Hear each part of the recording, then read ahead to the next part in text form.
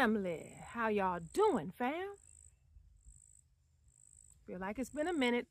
Last Wednesday, fam, I had went to the pool, okay? I was at the pool, sorry.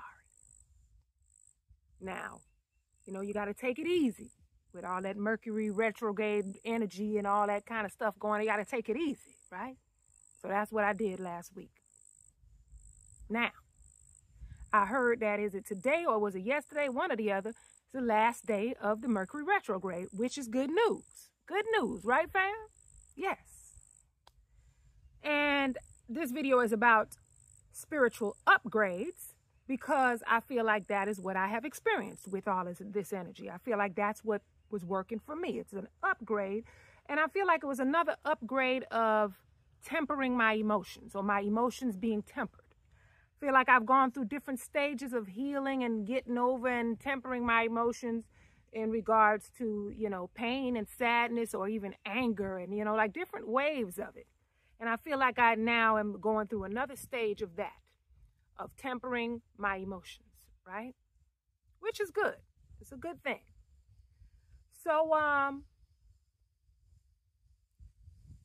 uh, spiritual upgrades. Now, here it is. Spiritual upgrades and the signs of spiritual upgrades is the same as the signs of spiritual awakening. It's just the spiritual upgrades are, it's more subtle, right?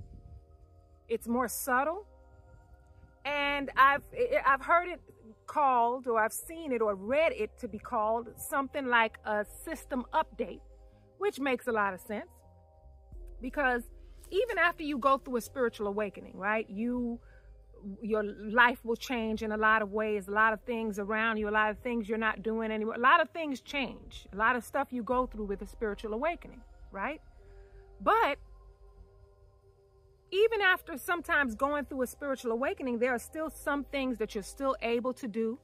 Still people you're able to be around, things, places, you know, a lot of things that you're still able to do. You're still uh, are dealing with these things or connected to these things. And sometimes it's because of your ego that wants to hold on to something familiar. And then sometimes it's just you have more to learn from these people, places, situations, or whatever it might be. Sometimes it's just you have more to learn, right?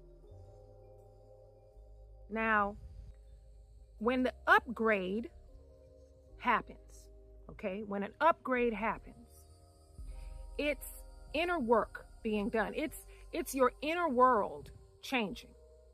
And eventually your inner world has to match your outer world. And if you fight against that, then you will most likely be living in chaos from within. The chaos will be from within.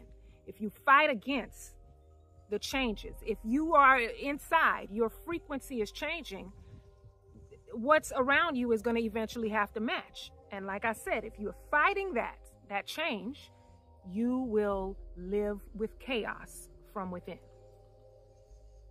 You know, fam, you can actually go through upgrades and not even know that you've been or had an upgrade until you put yourself in position to see how much you've really changed, right? A good example of that is me in 2022. After a good year of being single, a year and change, I was like, it's time to, you know, get out there and see the world and live life, right? So, what was my greatest idea? Oh, time to go to go to the crib. Time to go to Miami. Go to the crib, right? And go hang out with the friends and you know go party and you know have a good time, right? That was my thought right? And I went to hang out with a couple of friends and I ended up at Club LIV. Very popular club in Miami, right? I mean, that really is not my vibe. I'm more of a, I wanted to go to Wynwood. I think we actually did go to Wynwood one of the nights of the, the next one we did go to LIV, which I'm more of a lounge, you know, you know, bar kind of like, you know, I'm not crazy about the club, not decades, decades ago, yeah.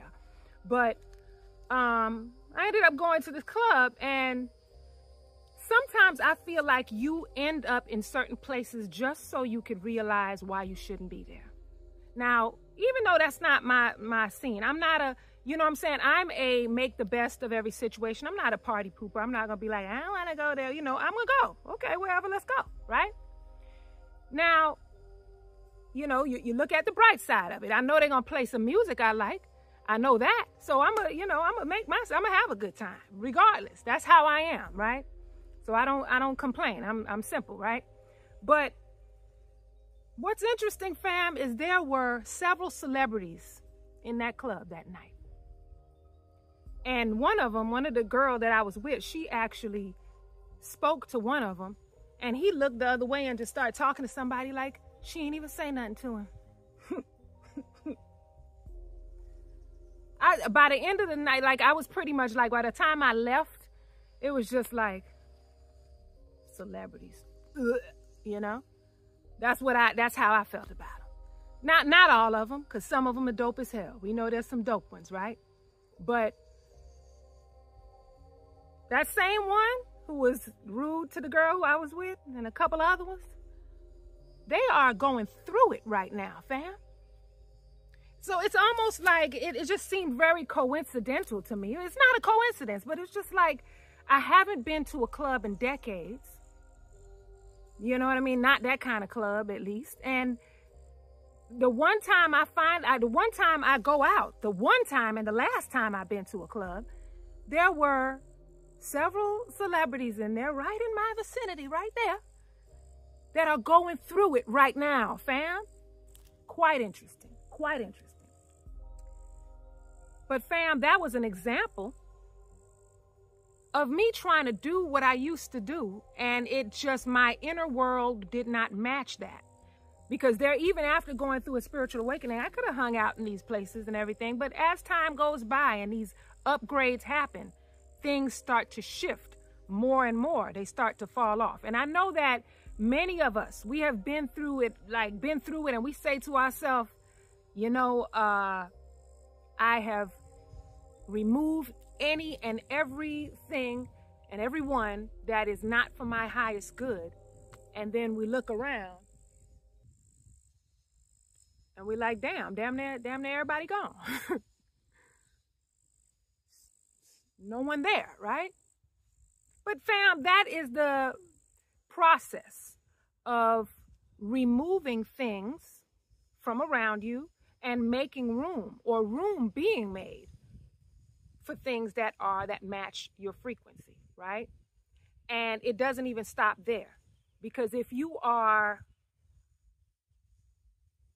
energetically still holding on to the things that you've been through, there still you still are not making room.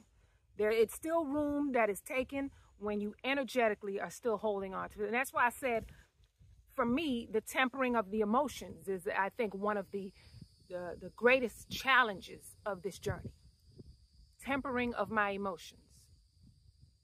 Um, Because um, I think sometimes I'm still like, when I think about or something that has happened already crossed my mind, that something that, you know, I'm, um, that may have upset me, something I went through, something somebody did or whatever. Whenever that crossed my mind, I'll sometimes be like, got me stuck. Know the hell you think you playing with?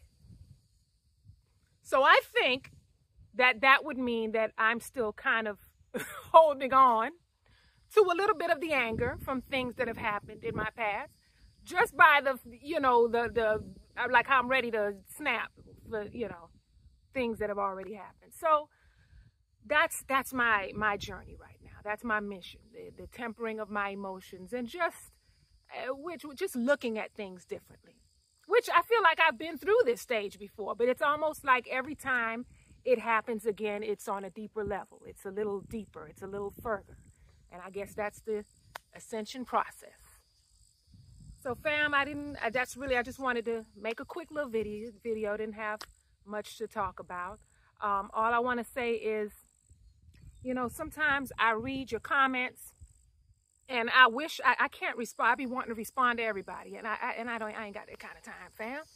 But Sometimes I read your comments. It could be on the oldest videos where I have changed so much since then. And even your comments on some of those. Sometimes I read y'all comments and be like,